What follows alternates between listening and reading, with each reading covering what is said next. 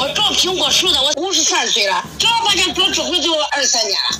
有一次指挥的不在，我没法，哎，我才上去，这才学指挥。因为我说就指挥了一段嘛，而且他还喜欢我的孩子，呃，下手盘手盘的不轻。我说哦，这还还能行，还是我上吧。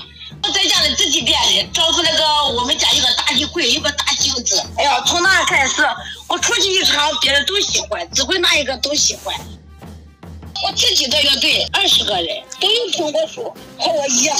平常吧，一个月做个呃七八个、十个。五一国庆节、过年，这个就多了。主要是也热闹，也锻炼身体。我一个人愁不嫌乐，那都大家都都乐，那才嫌乐。